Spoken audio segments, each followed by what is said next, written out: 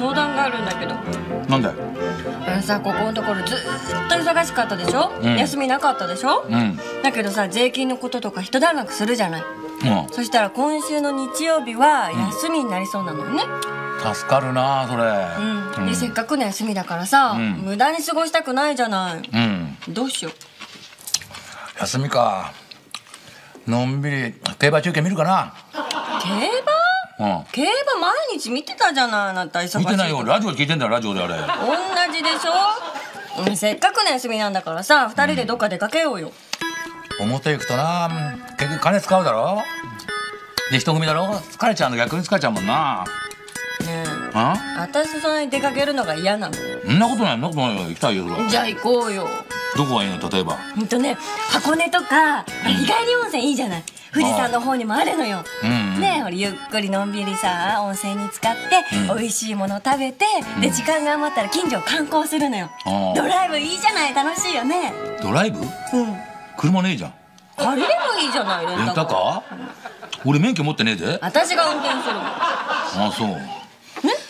でもな母ちゃんずっと運転だろ？疲れちゃうんじゃないか？逆にな。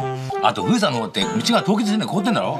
でつるつるだったら事故起こしたら危ないもんな。それ危ない思いしたくないな。なあ？嫌なの？いや嫌じゃないけどそう危ない思いしたらって逆に怖いだろって。え？あじゃあさ、ディズニーランドは？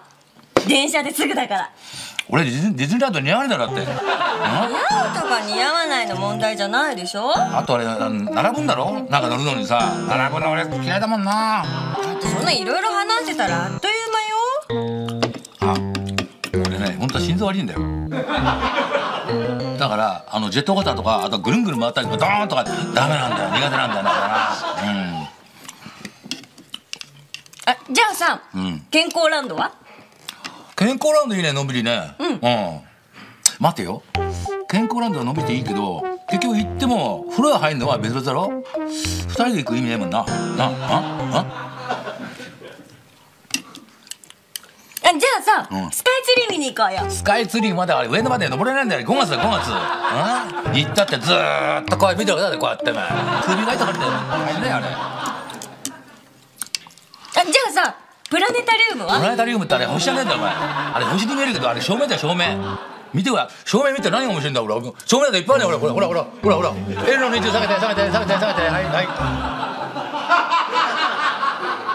い。もういいわよもういい。どうせあなためんどくさいんでしょ？行きたくないんでしょ私ともういいですよ。まあそうよ。結婚する前はさちゃんと雑誌見て調べてくれたじゃない。いろんなところにデート連れてってくれたじゃないの。よあれでしょ？釣った魚に餌はやらないってことでしょ？そうじゃないけどささ遠出すんのがあんま良くないなと思ってさ逆にさ疲れちゃうだろ？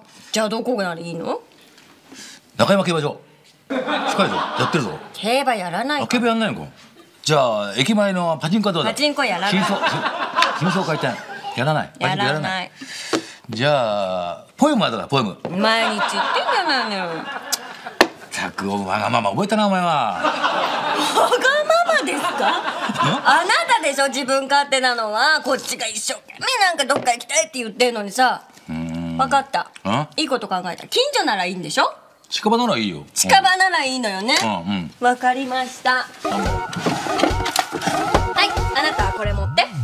私はこれを持っていくから。ハンコ離婚届？けいや区役所行こいやいやいやいやいや。いやいや10分でしょ？ほらど10分どこでもいいからどこでもいいからこれこれはないでしょこれは勘弁してください。正面に行こう。正面に行こう